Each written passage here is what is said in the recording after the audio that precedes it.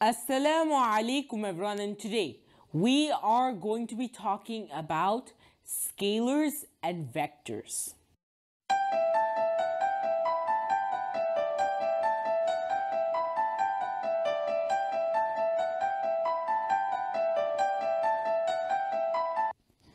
As we said in our introductory physics video, physics will be comprised of many different topics, ranging from quantum physics studying quantum particles all the way up to massive things and things in our world that we can measure and calculate and visualize. So this is a huge range of topics and to communicate this topic, we need to understand a couple of terminology. And all knowledge about the scientific notation and SI units will, will be presumed in this series. So let's begin off with the two basic no, things that we will be looking over in physics. Scalars and vectors. So, what is a scalar? A scalar is something that only conveys magnitude, a quantity. So say a mass of something can be a scalar, or a temperature, or how much time has elapsed. This only conveys magnitude, magnitude, only magnitude. As for vectors, they convey both magnitude and direction. This concept is important in physics to look into fundamental forces. Forces are vectors. They point to a specific direction and they point there by a specific magnitude. And we have to understand that. And to understand that, we have to understand vectors. Now, scalars are very simple. Scalars are about the mass of an object.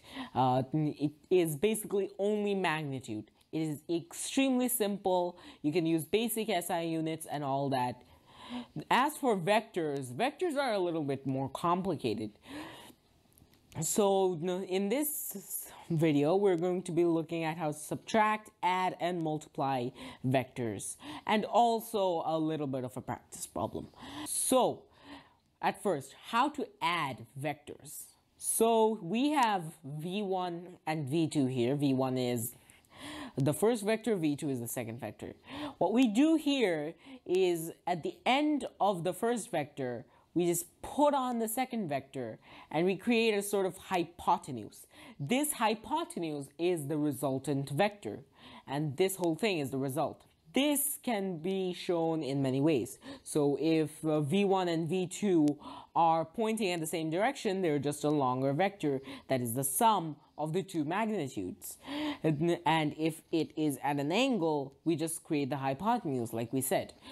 As for vector subtraction, we take the very same thing we did, except now we add it to the negative. So instead of positive like V1 plus V2, we have V1 minus V2 with the negative side being associated here. And this is the resultant vector.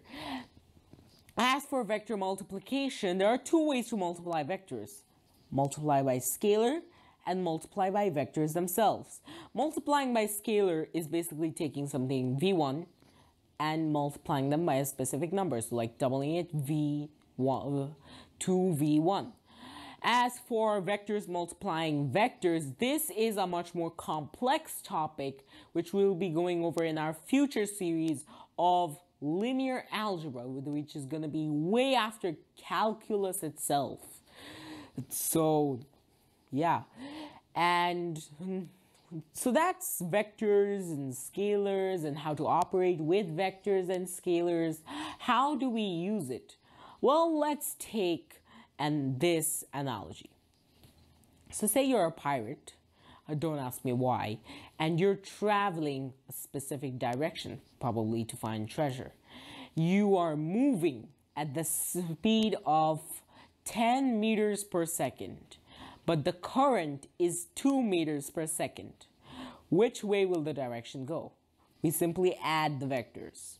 So we take 10 we go for 2. We swap where the 2 is to match with the, uh, with the first vector that defines the speed, the velocity.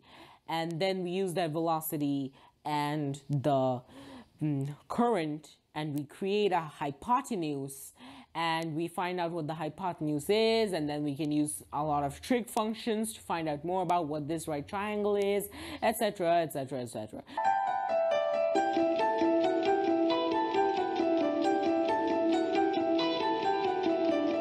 This is just the gist, and we'll be going over a lot more in this physics series. But this is enough for today. Stay tuned for more physics series. Anyway, this was a lot. Thank that's all there is to it.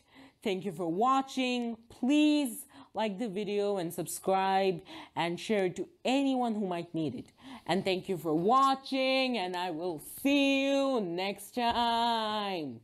Bye.